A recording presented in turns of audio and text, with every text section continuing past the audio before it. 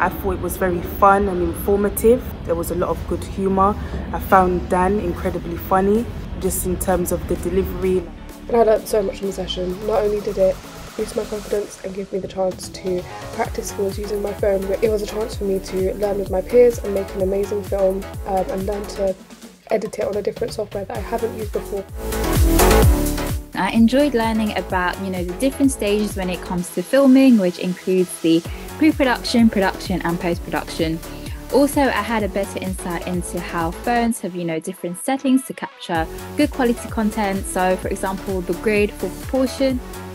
Learning about the features of the phone, you know, all about like the changing the settings for the quality and the focus I'm hoping to use these skills when attending an event or taking part in a peer outreach team function where I'll be able to capture various different angles and edit easily on my phone using CapCut. I will be able to, you know, create a piece that includes storytelling but also captivating by adding transitions, sounds and text.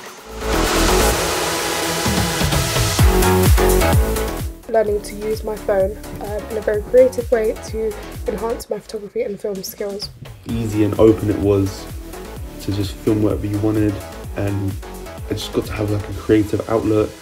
I found it really useful and informative because it taught me how to produce a video from different shots and angles and then how to edit them on a really good app for beginners interested in making short films.